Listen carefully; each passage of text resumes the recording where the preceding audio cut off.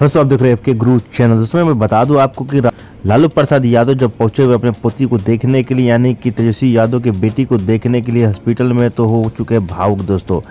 दरअसल दोस्तों, जैसे उन्होंने हाथ में लिया अपने पोती को तो भावुक हो गए दोस्तों, और उन्होंने बहुत ही बड़ी बात अपने पोती के लिए कहा, और उन्होंने सोशल मीडिया के अपने फेसबुक प्लेटफॉर्म पे भी जाकर उन्होंने एक बहुत ही अच्छा लिखा है दोस्तों, अपने बच्चे के बच्चे को प्रथम बार गोद में लेना अद्भुत रोमांचक, सुखद और मंद मुद करने वाला पल होता है। लालू यादव लिख रहे हैं आप इस कीमती नए छोटे से मासूम चेहरे में भविष्य के साथ साथ अतीत एवं वर्षों का प्यार त्याग और संघर्षों महसूस करते हैं दोस्तों। इनकी छोटी आँखें मिलना कुछ नया दिखाता है। और आगे लिखते हैं लालू प्रसाद यादव जी की कभी कभार अनुभूति होती है कि नाती पोती आपकी आत्मा का भी थोड़ा सा हिस्सा आपसे ले लेते हैं दोस्तों। ये जो है लालू प्रसाद यादव ने जो है अपने फेसबुक पेज पे लिखा है दोस्तों, और उन्होंने शेयर किया फ़ोटो दोस्तों, और अपने पोती को गोद में लेकर भावुक हो चुके थे दोस्तों जो लालू प्रसाद यादव थे दोस्तों।